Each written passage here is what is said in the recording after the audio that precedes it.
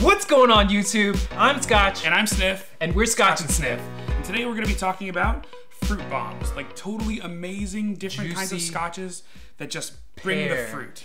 Pear, Pear apples, bombs, apple, a lot of kiwi, different kinds of structure and things like that. the good tasting stuff. Complexity. So, would you like to start us off? Starting off, actually, we'll start off over here with the Dalwhinnie 15.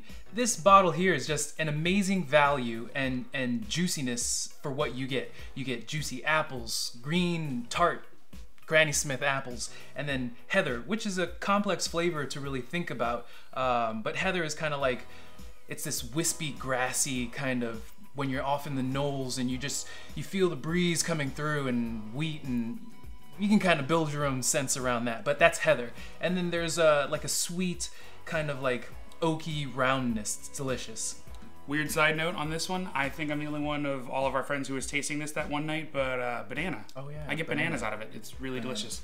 Up next, we've got the Glenfiddich 12, which is from my favorite distillery.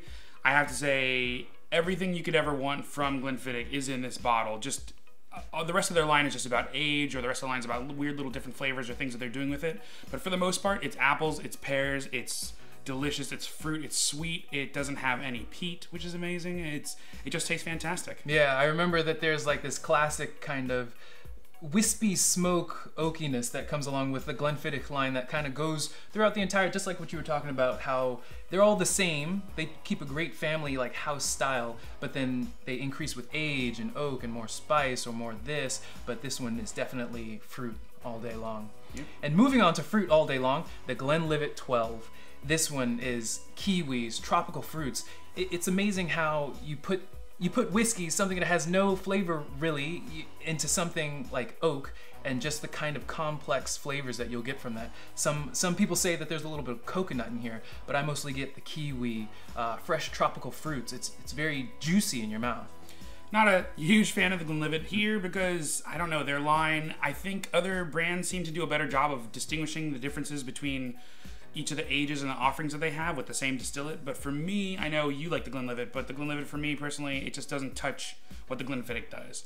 Um, next up, we've got Brenne, which tastes like if you're looking for an alternative to the Yamazaki 12 because you love that bubblegum sweet, just absolutely. It smell. It tastes like it smells kind of deliciousness. This is this is definitely it. this is definitely an uh, a, it's on the sweeter range of everything. If, if you're a Scotch person who who really likes a sweeter Scotch, um, it's complex but complex in sweetness.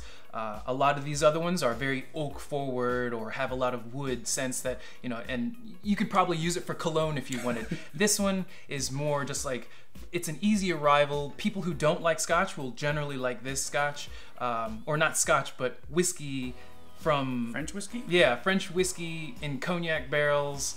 Yeah. Um, but it is very bubblegummy. This is the kind of whiskey that I would put on the rocks um, to really kind of like open up the flavors to bring more than just the sweetness. Yeah. So our final last one is the Balvenie 12-year-old single barrel. Um, this one is very unique. It's only in one barrel, and this bottle usually around they'll have uh, anywhere from like 250 to 350 bottles within one barrel, and it just picks up these unique characteristics. There's uh, an intense creaminess with this one, also with a lot of like fruit and musty pear.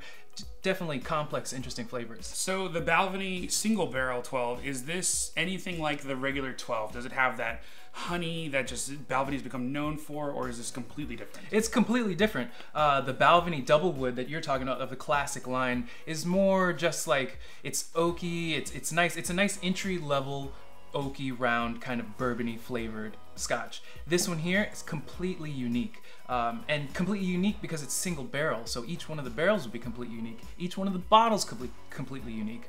Um, it's just a nice difference when you're trying to find different flavors. And the fact that it's bottled at 47.8% really kind of unleashes a lot more flavors. The higher the alcohol, the more flavors that can kind of carry over, um, which is nice. Non-chill filter too. So there you have it. If you're looking for complete fruit bombs, or just you just want something super sweet, just something to to appease your palate that says tonight I don't want peat, tonight I don't want a bunch, a ton of oak, tonight I want bubblegum, fruit, pears, apples, bananas, whatever it may be. These are definitely the fruit bombs that you should uh, should reach for Don't forget to uh, like, comment, and subscribe.